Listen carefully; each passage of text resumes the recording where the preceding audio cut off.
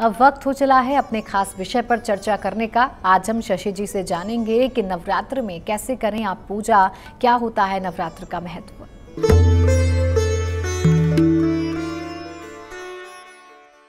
दर्शकों, कल नवरात्र प्रारंभ होने जा रही है और ये शक्ति भरने का समय है। आज हम आपको थोड़ा प्रैक्टिकल तरीके से चीज़ों को बताते हैं। जैसे आप एक एग्ज़ाम्पल लीजिए। कि एटीएम मशीन में जाते हैं रेगुलर पैसा निकल रहा होता है, लोग निकालते रहते हैं। लेकिन बैंक की ओर से एक निश्चित समय पर उसको फिल किया जाता है, भरा जाता है। जिस समय भरा जाता है, उस समय शटर डाउन हो जाता है। कोई व्यक्ति उससे पैसा नहीं निकाल सकता। बिल्कुल ठीक इसी तरीके से ये जो नवरात्र है, ये अपने अंदर फिलिंग का टाइम है। यानी शक्ति को भरना है। इन दिनों कोई भी ऐसा कार्य बिल्कुल नहीं करना चाहिए जिससे एनर्जी लॉस हो, क्योंकि ये समय शक्ति को एकत्र करने का है, सात्विक भाव रखने का है और अपने भीतर कोई भी नकारात्मकता है, उसको दूर करने का है। लेकिन सबसे बड़ी चीज़ है कि फिजिकली रूप से हम लोग स्वस्थ रहें।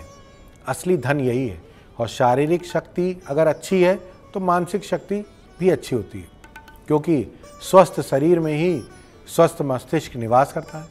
आज हम लोग बात करते हैं दुर्गा सप्तती ग्रंथ की और इसमें एक कवच है। कवच यानी जो आपको सुरक्षा देता है और सुरक्षा से जुड़े हुए विषयों पर यह आधारित है। दुर्गा सप्तती में इसमें भगवती की कृपा तो है ही, साथ ही इसमें बहुत गूढ़ रहस्य और सभी के घरों में होगा।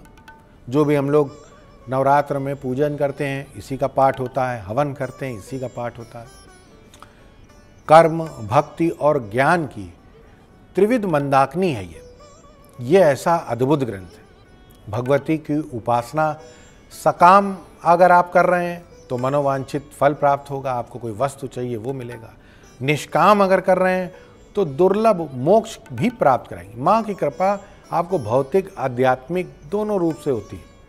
दर्शकों, आज आपको बताएँगे कि भगवती की कौन सा स्वरूप है जो हमारे शरीर की रक्षा करता है। वो शरीर को प्रोटेक्ट करती है। जैसे माँ अपने बच्चे के शरीर को प्रोटेक्ट करती कोई दिक्कत नहीं होने देती।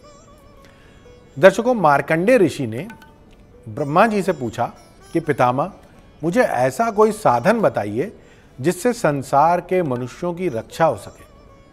तब ब्रह्मा जी ने कहा कि देवी का जो कवच है वो संपूर्ण प्राणियों पर उपकार करने वाला है, उनकी रक्षा करने वाला है। देवी की नौ मूर्तियाँ हैं, यानी नौ दुर्गा जिसको कहते हैं, नौ देवियाँ हैं।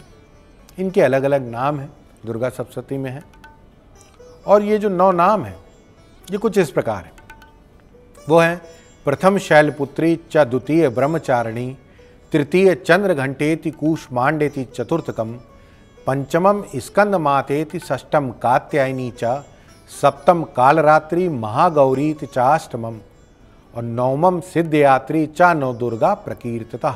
यानी पहली शैलपुत्री देवी हैं, दूसरी ब्रह्मचारिणी हैं, तीसरी चंद्रघंटा हैं, चतुर्थ कूष्मांडा है, पंचम स्कंद माता है, छठी कात्यायनी हैं, सातवीं कालरात्रि हैं, आठवीं महागौरी हैं और नवमी सिद्धदात्री ये जो देवियाँ हैं, इनके अलावा भी बहुत सी देवियाँ हैं जो हम लोगों के शरीर के एक एक पार्ट पर अपना कवच है, उनकी रक्षा करती हैं।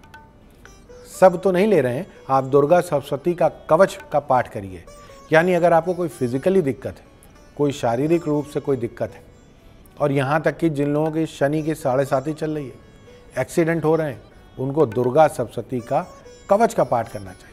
वहीं अगर शत्रुता अधिक है तो शत्रुओं पर विजय पाने के लिए जगदम्बिके माँ बहुत कृपा करती हैं, इनसे शत्रुओं का नाश हो जाता है। उनकी प्रार्थना करनी चाहिए। और माँ भगवती हर तरफ़ से प्रोटेक्ट करती है, दिशाओं में भी उनका प्रोटेक्शन है। और पूर्व दिशा में ऐन्द्री देवी रक्षा करती हैं, अग्निकोण में अग्नि शक्ति देवी हैं, दक्षिण दिशा में वाराही करती हैं। नैऋत्य कोण में खडक धारणी करती हैं और पश्चिम दिशा में वारुणी करती हैं।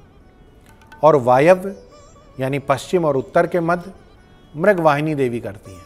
और उत्तर दिशा में कौमारी और ईशान कोण में शूल धारणी करती हैं। और ब्राह्मणी देवी ऊपर से रक्षा करती हैं और वैष्णवी देवी नीचे से रक्षा करती हैं।